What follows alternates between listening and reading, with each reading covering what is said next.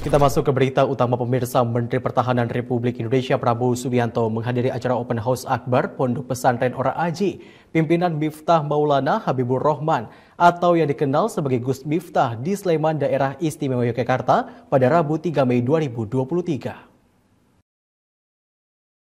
Menteri Pertahanan Republik Indonesia Prabowo Subianto menghadiri undangan untuk menghadiri acara Open House Akbar Pondok Pesantren Ora Aji bersama pimpinan Ponpes tersebut Miftah Maulana Habibur Rahman atau yang dikenal sebagai Gus Miftah di Sleman, East Yogyakarta pada Rabu malam 3 Mei 2023. Menan Prabowo hadir mengenakan blangkon senada dengan Gus Miftah dan baju koko putih. Acara itu juga turut dihadiri pendeta Gilbert Lumaindo.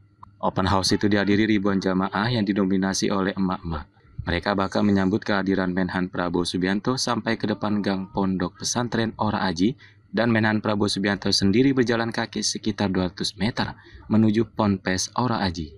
Gus Miftah pun meminta semua jamaah agar mendoakan kesehatan dan kesuksesan Menhan Prabowo Subianto. Sementara itu Menhan Prabowo mengaku sangat berterima kasih karena diundang oleh Gus Miftah. Menan Prabowo Subianto merasa mendapatkan pencerahan, semangat walaupun sebelumnya Menan Prabowo Subianto banyak melakukan kegiatan sejak pagi di Yogyakarta.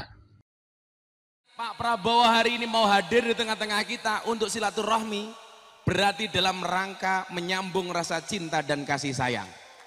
Orang yang mau silaturahmi, apa janji Allah? Satu, dipanjangkan umurnya. Amin. Semua yang hadir panjang umur. Pak Prabowo panjang umur. Saya banyak belajar, banyak belajar.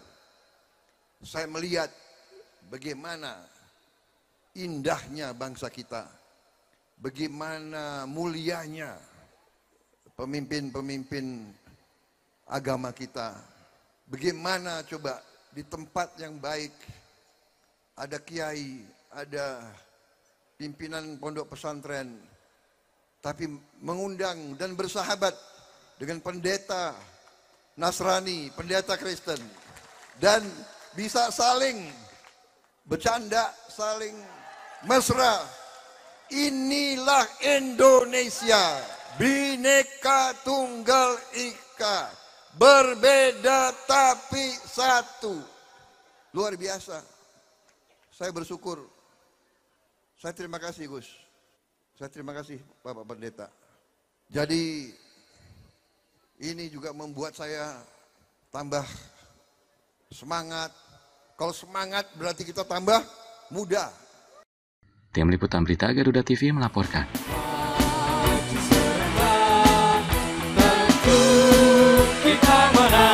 Menteri Pertahanan Republik Indonesia Prabowo Subianto saat menghadiri Open House Akbar Pondok Pesantren Ora Aji yang dipimpin Gus Miftah mengaku senang dapat sepanggung dengan dua tokoh agama yang berbeda.